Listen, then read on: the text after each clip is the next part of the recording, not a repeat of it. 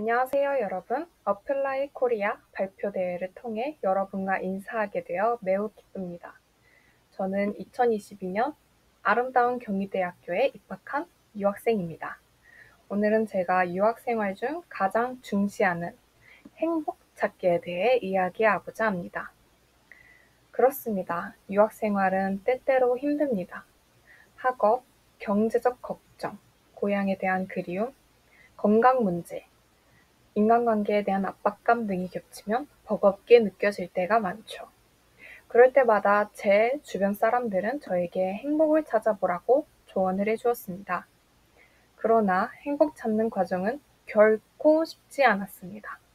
진정한 나의 모습을 마주하는 것은 매우 어려운 일입니다.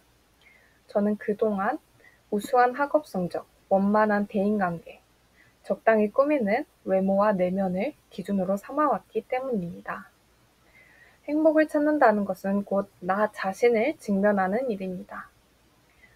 저는 진정한 나를 찾고 그런 나를 인정하며 여러 도전을 통해 성장해 보기로 결심했습니다. 이런 일도 있고 저런 날도 있는 법.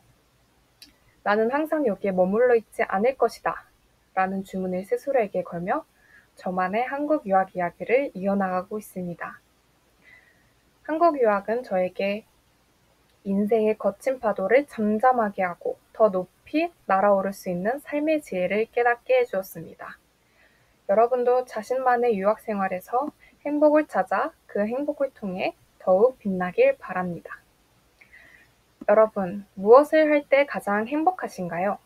그 행복을 위해 어떤 노력을 하고 계신가요? 각자의 행복을 찾아 더욱 빛나는 유학 생활이 되시길 진심으로 응원합니다. 감사합니다.